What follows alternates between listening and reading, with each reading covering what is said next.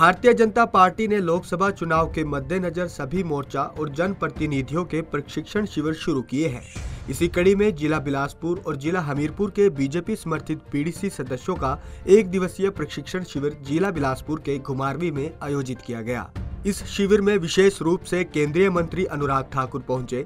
जनप्रतिनिधियों के इस शिविर का उद्घाटन करते हुए केंद्रीय मंत्री अनुराग ठाकुर ने केंद्र सरकार द्वारा चलाई जा रही गरीब कल्याण की योजनाओं के साथ साथ केंद्र सरकार की अन्य योजनाओं की जानकारी दी। साथ ही अनुराग ठाकुर ने प्रदेश सरकार पर भी निशाना साधा। उन्होंने कहा कि हिमाचल प्रदेश में कांग्रेस भी फेल और उनकी गारंटियाँ भी फेल है। हिमाचल में कांग्रेस भी फेल और उनकी गारंटियाँ भी। और इसका खामियाजा इनको बाकी राज्यों में भुगतना पड़ेगा।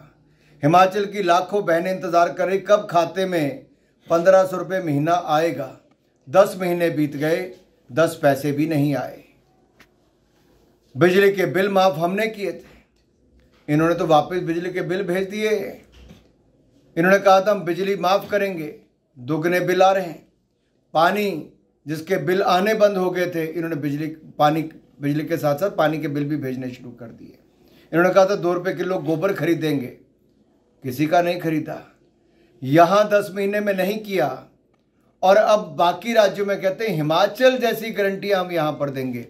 तो मैं राजस्थान, छत्तीसगढ़, मध्य प्रदेश, तेलंगाना के सभी भाई और बहनों से कहना चाहता हूँ, ये कांग्रेस की झूठी गारंटियाँ हैं, ये हिमाचल में भी फेल है, कर्नाटक में भी फेल है।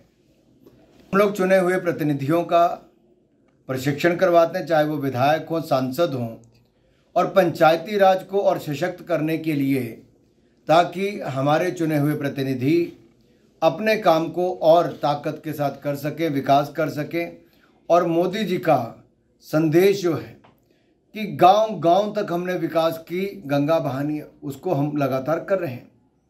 पैसे की भी बढ़ोतरी की, चौदहवें, पंद्रहवें वित्त का पैसा भी ज़्यादा बढ़ाया और अब अपने चुने हुए प्रतिनिधियों को प्रशिक्षण देकर हम इसको धरातल सफलता के साथ लागू करेंगे।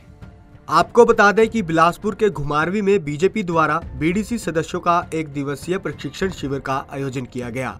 इस अवसर पर पूर्व मंत्री राजेंद्र गर्ग, पूर्व मंत्री विक्रम ठाकुर और बीजेपी के जिला नेता और जनप्रतिनिधि भी उपस्थित रहे।